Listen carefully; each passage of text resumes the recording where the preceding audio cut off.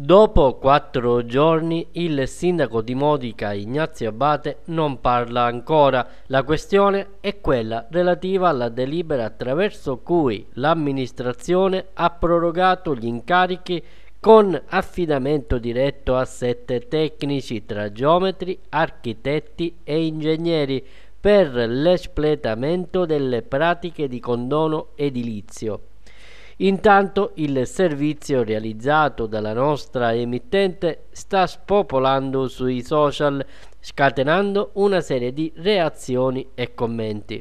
Oggetto di dibattito, oltre alla scelta politica di continuare a procedere con affidamenti diretti, escludendo di fatti tanti tecnici che potrebbero ambire a ricoprire quel determinato ruolo, anche i nomi scelti dall'amministrazione. Tra questi, ad esempio, Federico Scucces, figlio del consigliere di opposizione Giovanni. Tra i commenti anche quello di un cittadino di Modica dice che la denuncia contro il sistema avanzata nel servizio è stata presentata circa due anni fa al comando provinciale della Guardia di Finanza di Ragusa con la procura che ne ha chiesto ed ottenuto l'archiviazione approfondiremo nei prossimi giorni. In quell'esposto l'aspetto degli incarichi riguardava solo una parte della denuncia.